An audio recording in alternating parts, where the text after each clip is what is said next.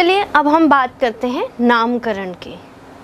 जब हम इन कंपाउंड के बारे में जानेंगे, इनको कैसे बनाया जाता है, इनके रिएक्शंस क्या क्या हैं तो एटलीस्ट हमें ये तो मालूम होना चाहिए कि इनका क्या नाम है, जो हम रिएक्शन में प्रोडक्ट बना रहे हैं, इनका नामकरण कैसे होगा।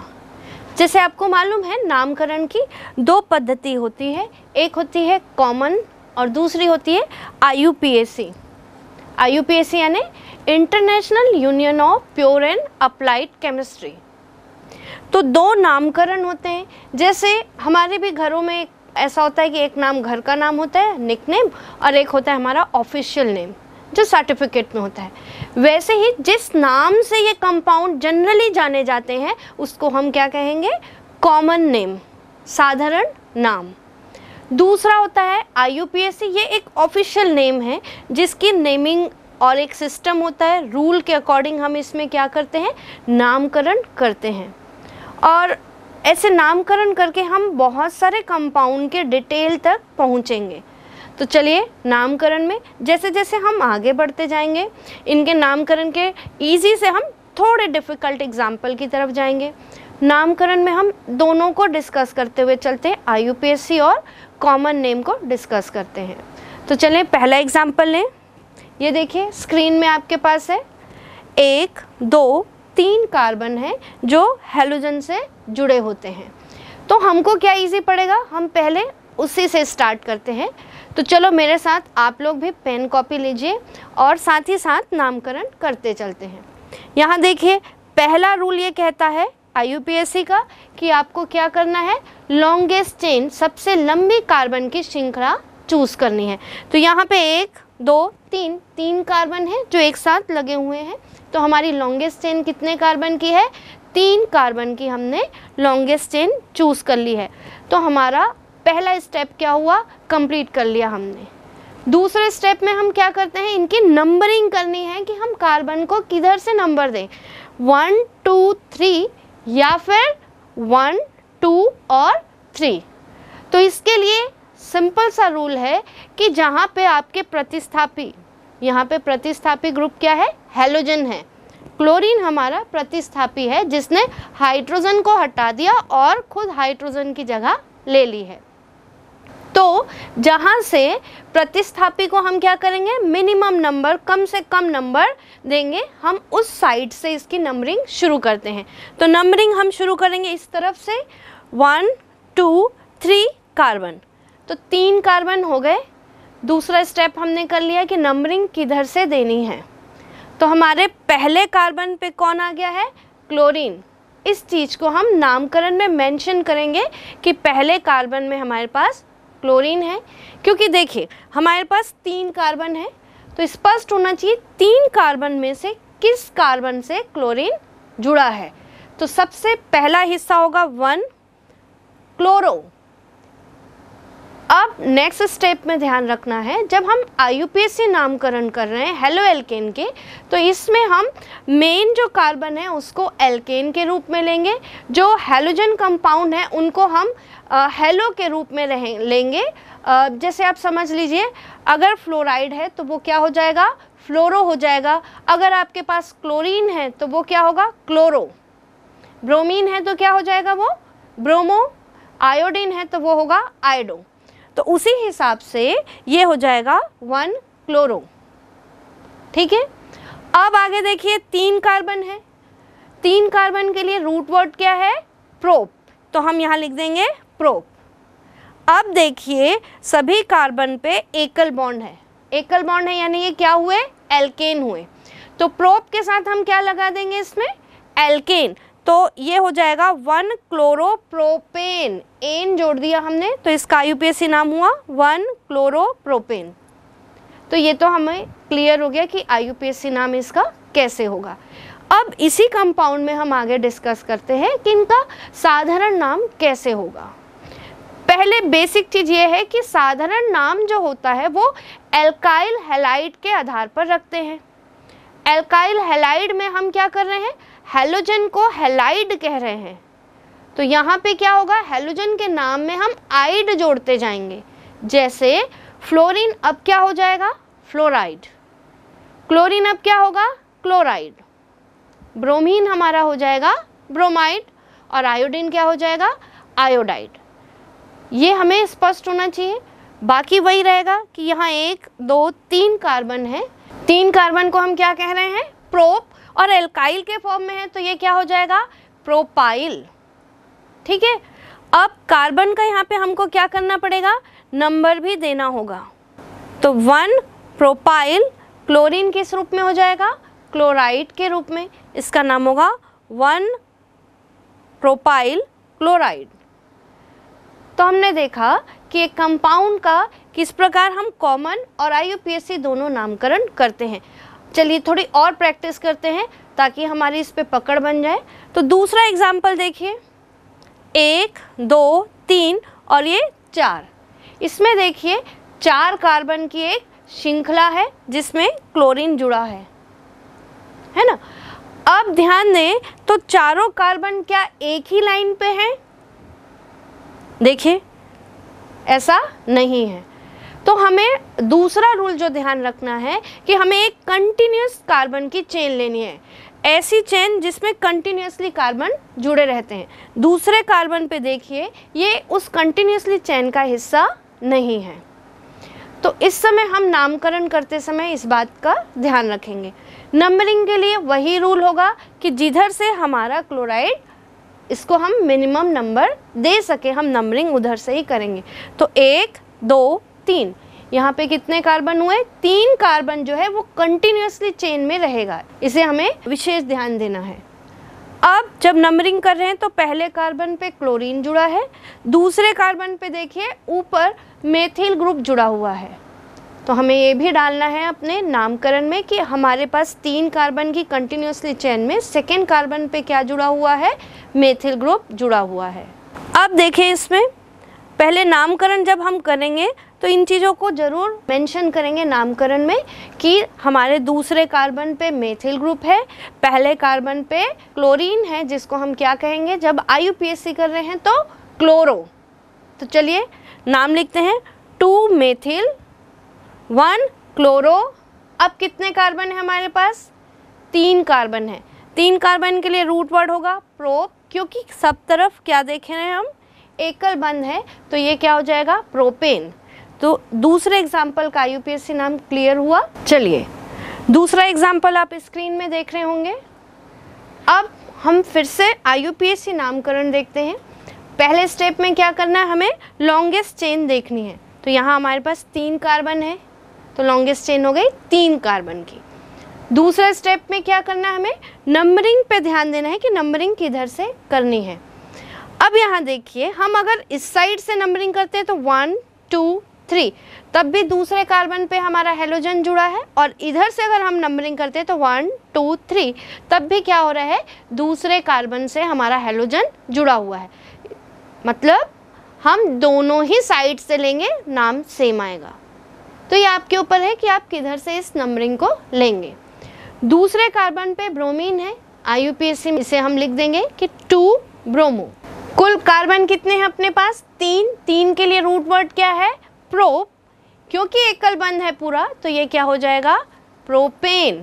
तो इसका आई नाम क्या हुआ? टू ब्रोमो प्रोपेन अब देखें इसका कॉमन नाम। कॉमन जब अपन इसके नेम पे आते हैं तो हम किस फॉर्म में लिखेंगे? एल्काइल हेलाइट के फॉर्म में लिखते हैं। तीन कार्बन है तो यहाँ पे क्या होगा? प्रोप, प्रोपाइल हो जाएगा तीन कार्बन के लिए, और ब्रोमीन है तो वो क्या हो जाएगा? ब्रोमाइड। तो ये काफ़ी इजी था। अब थोड़ा आगे बढ़ते हैं, थोड़े टफ में आए। तो थोड़ा सा हम टफ लेते हैं ब्रांचिंग वाले कार्बन के नामकरण के लिए। तो तीसरा एग्ज़ाम्पल जो आप स्क्रीन में देख पा रहे हैं, चलिए इसका नामकरण करते हैं। पहले हम देखेंगे आई नामकरण। कार्बन की लॉन्गेस्ट चेन लेना है तो एक, दो, तीन। तीन कार्बन जो है वो कंटिन्यूस चैन का जो है हिस्सा है। हमको ये ध्यान रखना है, क्योंकि जो चौथा कार्बन है, देखिए, वो क्या है? अलग से है। वो कंटिन्यू चेन का हिस्सा नहीं है। तो लॉन्गेस्ट चेन हो गई। दूसरा है हमारा स्टेप कि हम नंबरिंग किधर से करें। तो नंबरिंग करते समय हमें देखना है कि हेलोजन जो है, वो कम नंबर पे आना चाहिए। हमारा हेलोजन आ गया अब यहाँ पे पहले नंबर पे। आप देखिए हेलोजन्स को ले लें। दूसरे नंबर पे अब ध्यान दीजिए कि यहाँ पे दूसरे कार्बन पे क्या जुड़ा हुआ है? मेथिल ग्रुप जुड़ा हुआ है। ठीक है? तो हम यहाँ पे नामकरण कर देंगे इसका। दूसरे पे मेथिल ग्रुप है। कुल कार्बन कितने हो गए? जो मेन चेन का हिस्सा है, वो तीन है। तो नामकरण क्या हो गया इसका? वन ब्रोमो, टू मेथिल तीन कार्बन प्रोप और एकल बंद है तो एन। इसका पूरा नाम हो गया one bromo, two methyl, propane. अब इसके कॉमन नाम को देखें। कॉमन नेम में जब हम नामकरण करेंगे तो इसका नामकरण क्या होता है? चलिए बनाते हैं। अब यहाँ देखिए कि कंटिन्यूसली चेन में आपके पास तीन कार्बन है तो हम यहाँ पे इसे प्रोपाइल तो नहीं कहेंगे। हम जब कॉमन नामकरण करते हैं तो कुछ प्रिफिक्स का यूज़ करते हैं। आप ध्यान रखना कि केवल कॉमन नाम में प्रिफिक्स का यूज़ करेंगे। तो कौन से हैं ये प्रिफिक्स ये प्रिफिक्स होते हैं आइसो और नियो तो चलिए पहले हम समझें कि आइसो और नियो क्या होते हैं। मान लो ये एक एग्ज़ाम्पल है, देखिए। इसमें एक कार्बन को छोड़कर बाकी जो कार्बन है, वो कंटिन्यू चेन का क्या है? हिस्सा होते हैं।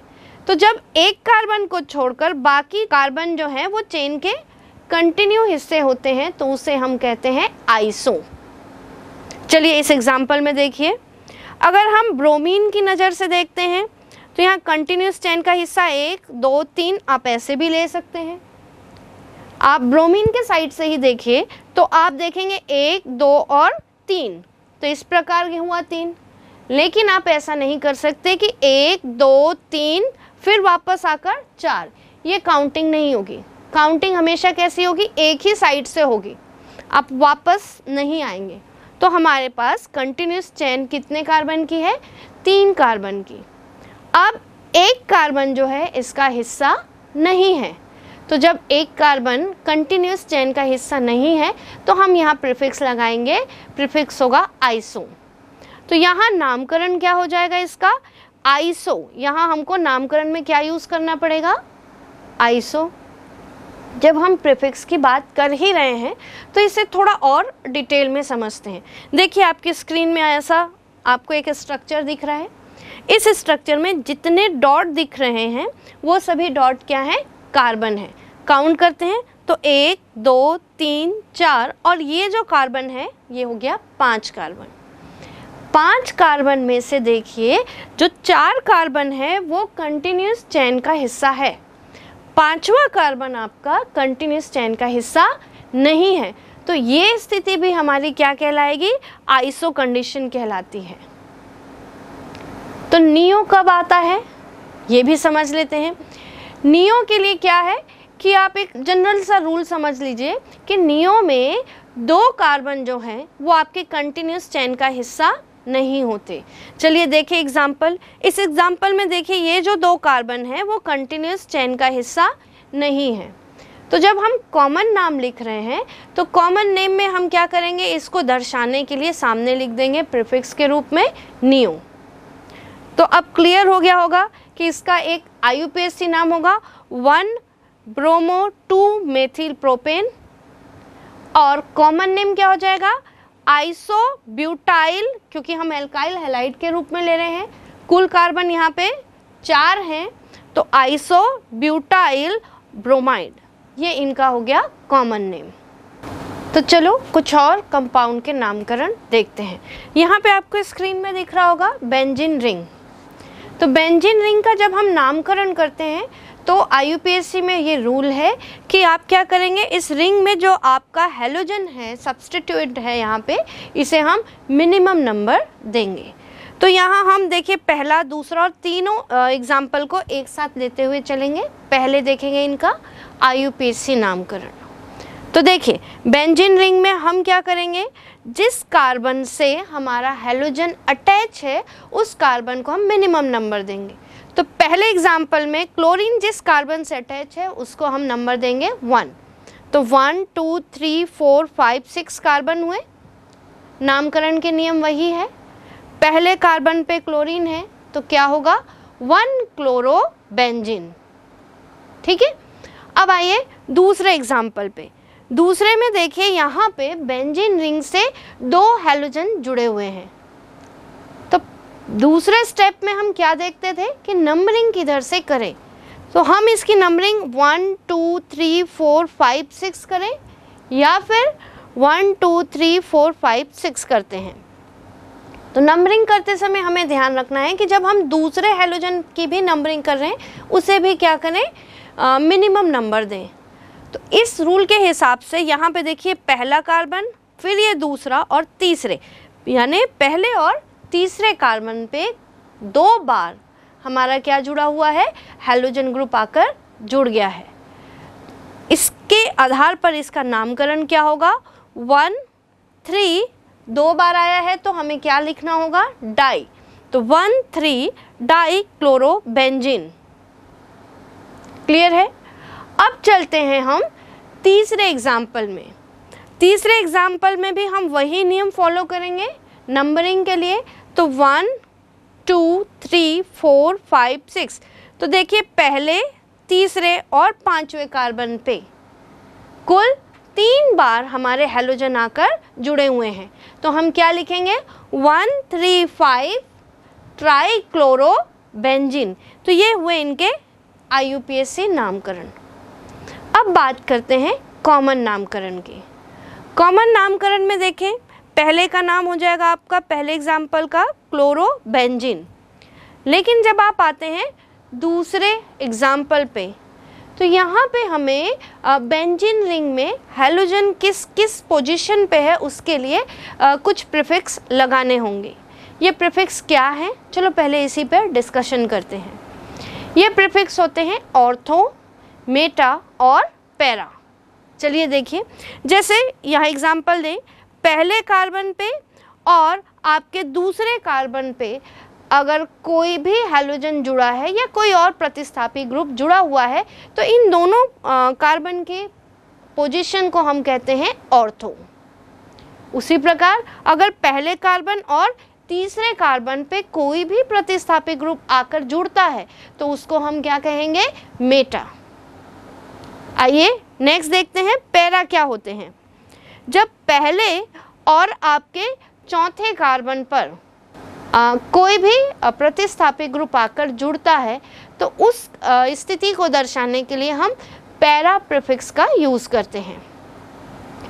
अब इनको समझने के बाद ये भी समझ लीजिए कि ये जो हमारे ऑर्थो पैरा और मेटा है ये क्या होते हैं? एक दूसरे के आइसोमर होते हैं।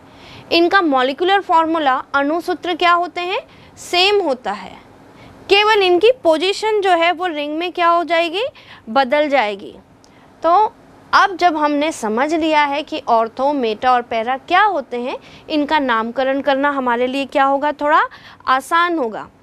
तो कॉमन नाम जब हम इनका लिखते हैं तो सेकेंड वाले का नाम क्या हो जाएगा? सेकेंड का कौन सी पोजीशन में है ये? मेटा पोजीशन पे। तो हम लिखेंगे, मेटा, दो बार क्लोरीन ग्रुप है तो डाई क्लोरोबेंजिन तीसरे एग्ज़ाम्पल का जब कॉमन नेम आता है तो यहाँ देखिए, पहले, तीसरे और पाँचवें कार्बन पे क्लोरीन ग्रुप जुड़ा हुआ है। तो हम यहाँ लिखेंगे ट्राई क्लोरोबेंजिन अब ये आप इधर से भी लेंगे तो भी वन थ्री फाइव होगा, या इस तरफ़ से लेंगे, तब भी क्या होगा? वन थ्री फाइव इसको दर्शाने के लिए हम सामने में लिख देंगे सिमेट्रिक तो ये हो जाएगा symmetrical one three five tri trichlorobenzene तो इस प्रकार हमने देखा कि अलग अलग अगर आप हेलो एल्केन ले रहे हैं हेलो एरिन्स ले रहे हैं, इनके नामकरण को देखते हुए हम चलते हैं। आगे और कुछ एग्ज़ाम्पल देखते हैं।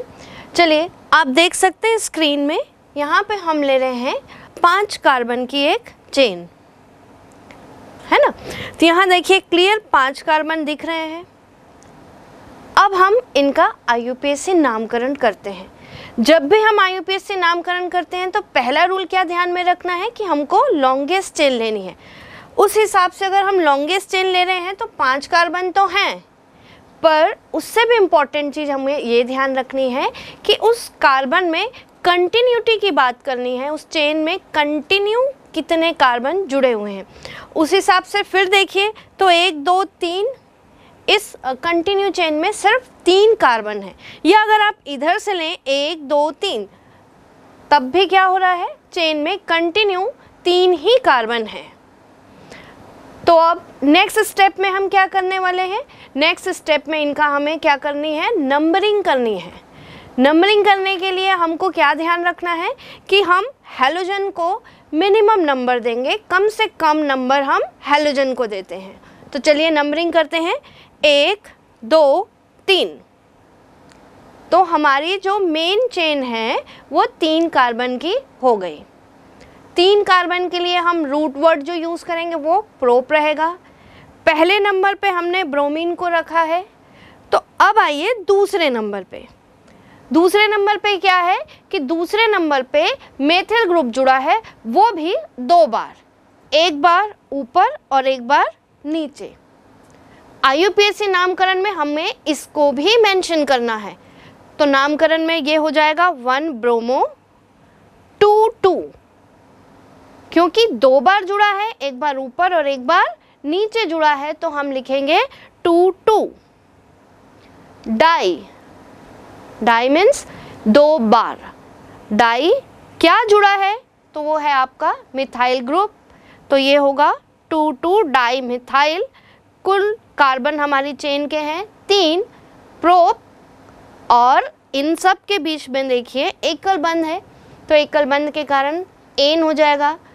इसका नाम हुआ one bromo two two di methyl propane. अब आते हैं इनके कॉमन नेम की तरफ़। कॉमन नेम को हम कैसे लिखेंगे? तो एल्काइल हेलाइट के फॉर्मेट में हमको कॉमन नेम लिखना है। चलिए देखें। तो कुल कार्बन कितने हैं अपने पास? पाँच। तो पाँच कार्बन के लिए हमारे पास है नियो पेंटाइल पेंटाइल क्योंकि हम एल्काइल के हेलाइड में लिख रहे हैं, पेंट और आइल। तो पेंटाइल और हेलाइड है हमारे पास। ब्रोमीन, वो हो जाएगा ब्रोमाइड। कॉमन नेम हो गया हमारा पेंटाइल ब्रोमाइड। अब थोड़े इजी एग्ज़ाम्पल से हम थोड़े थोड़े टफ की तरफ़ जा रहे हैं। कुछ और एग्ज़ाम्पल लेते चलें। चलिए नेक्स्ट एग्ज़ाम्पल लें। देखिए इसमें एक, दो, तीन कार्बन है। ठीक? तीन कार्बन के लिए हम रूट वर्ड फिर से वही रहेगा प्रोप क्योंकि एकल बंद है तो ये क्या हो जाएगा? प्रोपेन पर दूसरे कार्बन में, अगर आप इस साइड से ले रहे हैं तो वन टू थ्री तब भी दूसरे कार्बन पे क्लोरीन है और इस तरफ़ से लेंगे तो वन टू थ्री। तब भी क्या हो रहा है? दूसरे कार्बन पे आ, क्लोरीन ग्रुप है। तो हम किसी भी साइड से लें इधर से या इस साइड से क्लोरीन ग्रुप कहाँ आएगा? हमारा सेकेंड कार्बन पे ही आएगा। तो ये हो जाएगा टू क्लोरोप्रोपेन अब यहाँ पे हम इनका कॉमन नेम करते हैं। कॉमन नेम जब हम लिखेंगे तो हमें आ, ये ध्यान रखना है कि हमने पढ़ा था इससे पहले आइसो और नियो। वो यहाँ पे अप्लाई करना होगा क्योंकि अगर आप क्लोरीन के साइड से देखें तो क्लोरीन के साथ देखिए इस तरफ़ तो ये दो कार्बन जो है क्लोरीन के साइड से साथ में है और एक कार्बन छूट रहा है। अगर हम इधर से लेते हैं, तब भी वैसा हो रहा है। क्लोरीन के साथ में दो कार्बन चल रहे हैं और एक कार्बन क्या है? छूटता है। हम पहले डिस्कस कर चुके हैं कि कैसे आइसो बनते हैं और कैसे नियो कंपाउंड होंगे। तो यहाँ पे क्या लगेगा? आइसो। क्यों? क्योंकि कंटिन्यूस चेन में एक कार्बन जो है, वो कहाँ है? अलग है। तो ये होगा आइसो। तीन कार्बन है तो प्रोप क्योंकि हम एल्किल हेलाइड के फॉर्म में लिखते हैं तो प्रोपाइल क्लोराइड तो इसका नाम हुआ आइसो प्रोपाइल क्लोराइड अब चलिए थोड़े और